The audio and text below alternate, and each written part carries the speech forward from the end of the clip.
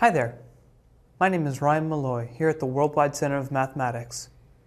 In this video, we're going to discuss how to use parentheses in equations. So here we have an equation y equals negative 3 over 4 x squared plus 1. And at first glance, it might not be immediately apparent what the correct order of operations is. So we want to use parentheses to try to make this somewhat less ambiguous.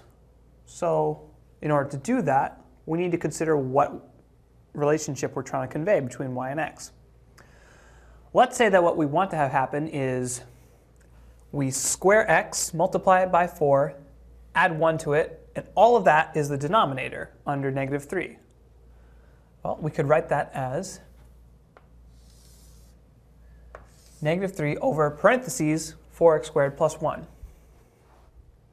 One possibility. We'll write it again. Try to come up with other interpretations for it. Let's say that this time, what we know ahead of time is that negative 3 over 4 is a coefficient for x squared. That x squared is not in the denominator. Well, we can make that clear by simply putting parentheses around the coefficient to avoid implying that this division sign applies to the x squared. Easy enough. What are some other interpretations we might have?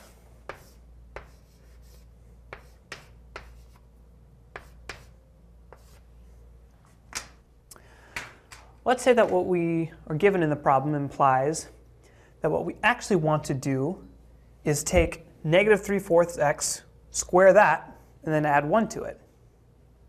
Easy enough. We put parentheses around the entire term that we want to square. In fact, we can even make this less ambiguous by putting parentheses around this coefficient, again to avoid implying that x is going to be in the denominator. So whenever you're given an equation whose meaning is not quite clear, go back to the original problem and ask yourself what relationship between y and x is being described. Then just insert parentheses to make it less ambiguous. That's all there is to it. My name is Ryan Malloy, and we've just discussed how to use parentheses in equations.